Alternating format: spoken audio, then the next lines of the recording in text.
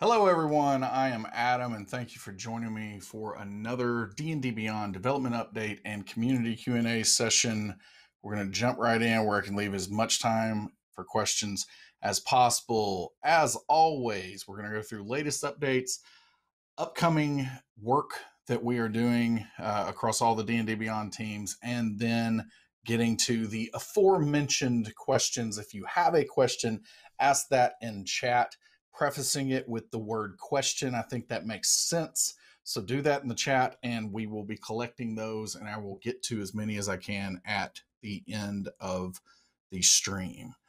So latest updates complete. We have released D&D Beyond entitlements into Avrae. That means that anything that you have purchased and unlocked on D&D Beyond is now available to use within our Avrae Discord bot. And we're going to look at some of that here in just a little while. You've got to link your account to make it happen. And then you uh, link, do some linking inside of Avrae itself, but you can pull in your character. And again, you can look up things that are non SRD at this point in time. So this is released for everyone. It was released to subscribers last time I gave you the update, but uh, this is a, a really, really big step and something that we've been excited to do with Avrae for some time. It is the world's most popular Discord bot, and it really is very powerful. And so, if you're playing online remotely right now during all of what's going on in the world, Avrae is a great tool for you to check into, and it would be a great skill for you to pick up in in the middle of uh, some of the sheltering in place. We also released the Unearthed Arcana playtest content for the Phantom Rogue, the Genie Warlock, and the Order of Scribes Wizard this week. So check those out. Those are uh, it, that's been a very popular batch of Unearthed Arcana. So I think that uh, we're seeing a lot of characters already being created with those three subclasses. So you check that out as well. And then I wanted to provide an update about some of the Wizards of the Coast content that is on the site. So we received some communication from Wizards this week regarding some of the extra life and adventures league type content that we have on D&D Beyond. And ultimately, uh, I think the quickest way to explain this is that there are uh, products that are going to go through the full blown robust design process that is going to typically culminate in a hardcover. And then there are some products that don't go through as rigorous of a process as that. And so on D&D Beyond, we are going to be differentiating between those two types of content and uh, leaving something. We have something called source categories. You might not always know about this because these are the categories that you check at the very first screen of character creation where we have options like critical role content, Magic the Gathering content, Rick and Morty content, and so on. So, with all of those options, there is a source category that is called core d&d that you never see about because core d&d is always enabled no matter what by default and so we've got core d&d and we're going to be moving those extra life products and then uh, some of the adventures league content that we have out there uh, an example of this is Rrakkma that was associated with mordenkainen's tome of foes.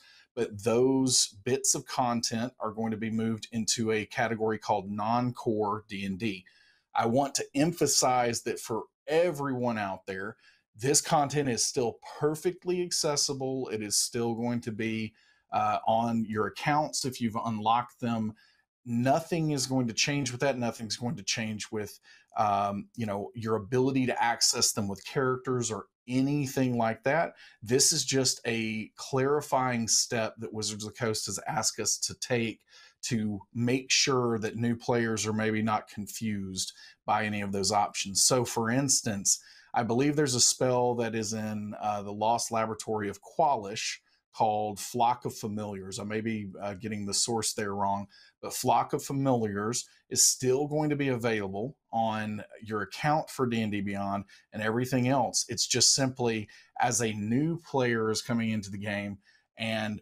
creating their character for the first time, that non-core D&D source category will by default be turned off. So those kind of spells will not appear for the general new player who is coming in and just trying to get started quickly into the game. But if you want that content in your game, you're perfectly able to do so by toggling the uh, source category on as you're creating a character, and then all of those options are fully available to you. So, hopefully, that was not too boring, but I wanted to give a little bit of a heads up on that process that's going to be happening uh, here very, very soon. We will have some additional messaging about that when it comes out. Main thing to emphasize there really is very little impact uh, to to you and any characters that are using this content. The main thing is you're going to have to possibly toggle that on in order to have those options available to you to pick when you're managing your spells or whatever else. So that is one update that I wanted to share with you today.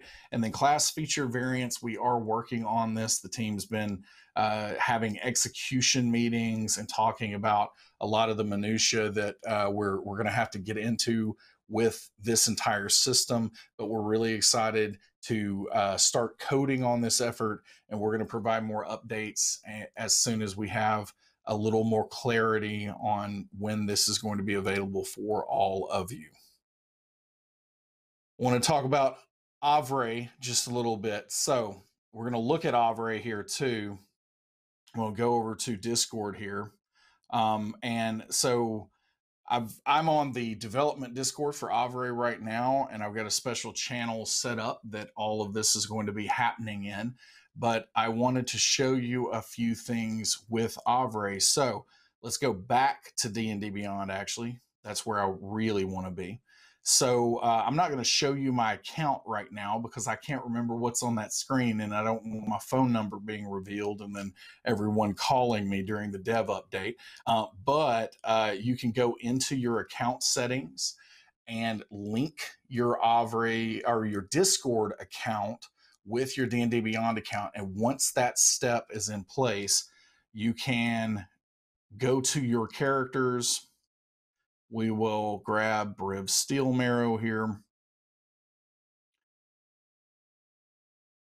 And just so, so I can show another bit of this, I'll go to the shareable link here. So this is something that will get you a shareable link, give you a nice uh, open graph image when you post that on social and everything else. But then you can go into Avrae, and I hope that I remember this right, Beyond, and then paste that character URL. So that's all it takes. Uh, exclamation point beyond, paste the character URL, and Avrae will actually load that character into um, into this. So let's see. Yes, I already loaded this. So, oh, we're gonna pause for just. Okay, we're good now, I guess. So since I had already linked Briv in this channel, it was asking me whether I wanted to update or not. I had to uh, type yes in there, but you're going to see now that Briv Steel Marrow and all of his magical metal glory is here in Avrae. You've got all of, uh, you know, kind of a stat block for your character here. So really, really handy. And then from here, you can do a variety of things. So I can do exclamation point attack. And then I know that Briv has uh, a weapon called Arsenal. And so if I do that, I'm, it's going to actually roll an attack roll for me and then roll damage at the same time. And then it's going to talk about the weapon that I did that with. So really, really handy. You can do uh, exclamation point check and uh, see Briv is good at athletics. So that's what we're going to try here. So we got uh, I got an 18 on that, not bad, about average for Briv anyway. Um, and you can also uh, let's see, Briv casts some spells, so we will cast. Uh, let's see, exclamation point cast. Uh, let me think of one that he actually has prepared right now. So we're going to say guiding bolt. So he's going to cast guiding bolt. So you'll see that it rolls the two hit, it rolls the damage, it reminds you of the effect of the spell. It also shows you how many spell slots you still have left available. So, with that, uh, I actually had not taken a long rest from playing last night. I've used up three of my four first level spell slots. If I wanted to uh, just reset all of that, um, I can long rest. I forget how how that what that command is. Oh, I think I did it right. Yeah. So uh, that's going to reset all of uh, my spell slots there.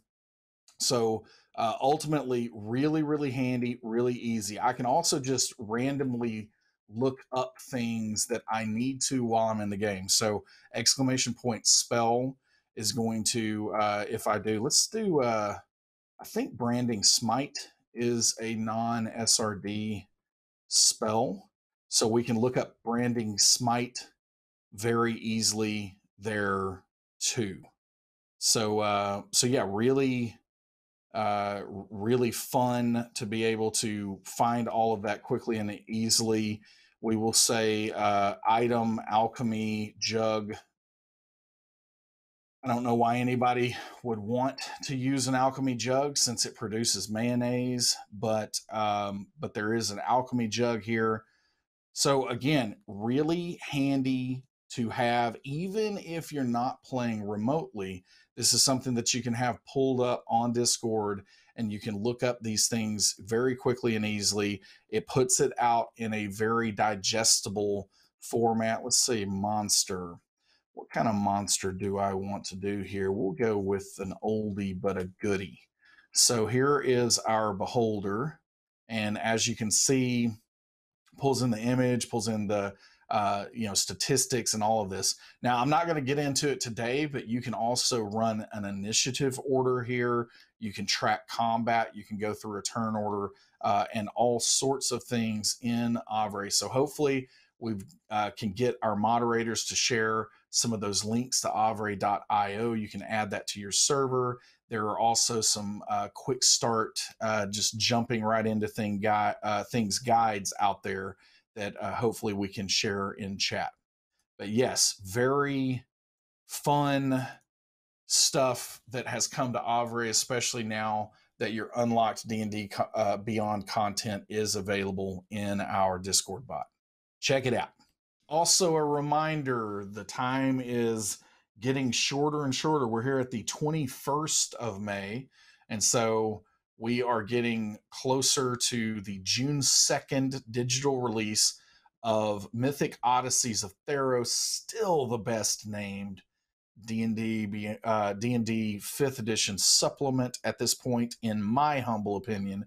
But if you find a Wizards Play Network store out there, one of your local game stores, there are 3,000 plus of these in North America. If my numbers are right there, I think they are and the first 20 people who pre-order at their local store are going to receive a code the codes have already started going out uh, so if you've pre-ordered you should hopefully be getting your codes out there but it will get you 50% off on the d&d beyond version of this book and that's the lowest price that any supplements been except for the other 50% off bundling we were able to do in the essentials kit for the player's handbook so really really big deal and uh, go take advantage of this to support your local stores and to get a great deal on the digital version here on D&D Beyond.